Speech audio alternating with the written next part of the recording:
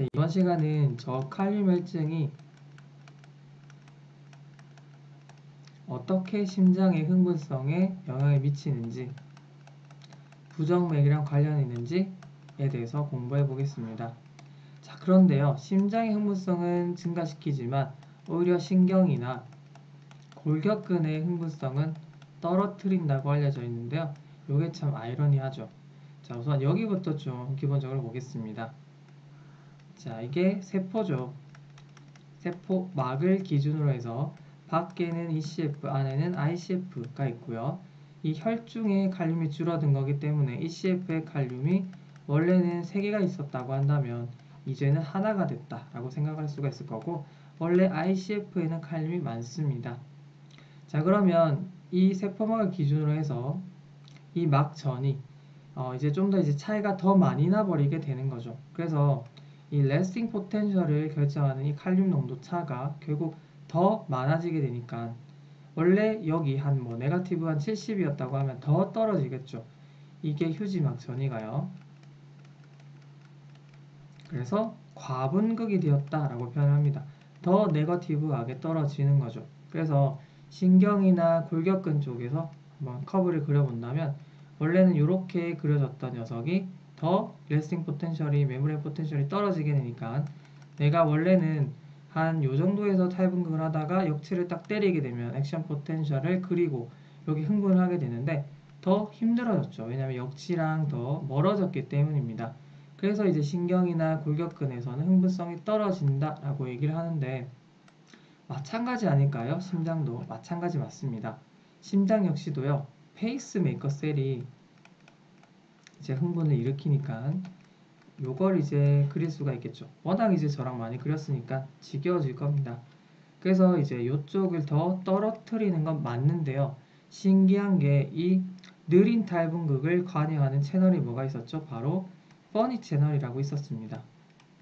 그러니까 slow sodium channel이라고 말씀드렸는데 요거는 특이하게 더 negative로 가면 더 activation이 돼서 더 이 slope가 증가하게 돼요.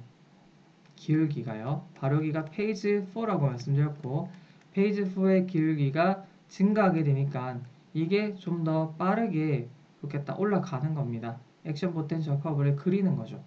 아, 그래서 심장에서는 흥분성이 증가하는구나.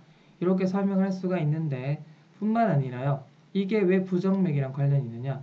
이게 보통 정상적이라고 한다면 SA node 동방결절에 있는 pacemaker가 이렇게 이제 될 텐데 신기하게도 이런 과분극에 대한 민감성이 푸르킨예 섬유 있죠. 여기서 더 반응이 어, 극적으로 나타납니다. 그래서 원래는 SA node에서 이런 빠르게 어, rate가 생기는 것으로 끝나면 좋을 텐데 이 심실 쪽 그러니까 한번 그려볼게요. 심방에서 SA node, AV node, His bundle 이렇게 branch가 있고 이렇게 이제 심실 쪽을 이렇게 branch로 가는 게 바로 푸르키니에 섬유입니다. 이쪽이 심각하게 흥분성이 생기게 되면 바로 심실에 부정맥이 생기는 거죠. 무슨 말인지 아시겠죠? 그래서 결국 이 예민한 푸르키니에 섬유 쪽에서 어, activation이 되는 그래서 우리가 이거를 ectopic pacemaker의 역할을 하게 되다 보니 부정맥이 생길 수가 있다라고 하는 겁니다. 무슨 말인지 아시겠죠? 자, 뿐만 아닙니다. 제가 다 설명드렸죠. 바로 EAD 기억나시나요? 저칼륨혈증이 생기게 되면 자, 이렇게 그릴 수가 있을 텐데 요쪽 phase 2나 3 쪽에서 그러니까 원래는 재분극이 일어나는 기간이죠. 이쪽에서 원래 선행하는 action potential 이제 진행이 되다가 여기서 불뚝하고 후탈분극이 나타날 수 있다 말씀드렸죠. 자 이건 왜냐면요. 이쪽에 관여하는 어, 채널이 칼슘 채널 그러니까 칼슘 채널을 통해서 들어오고 칼륨 채널을 통해서 나가야 되는데 이 저칼륨혈증이 발생하게 되면 이 밖으로 나가는 칼륨 채널의 통로가 방해된다 말씀드렸습니다. 요거 자세한 거는 어 제가 EAD에서 설명드렸으니까 어 좀 참고해 보시고요.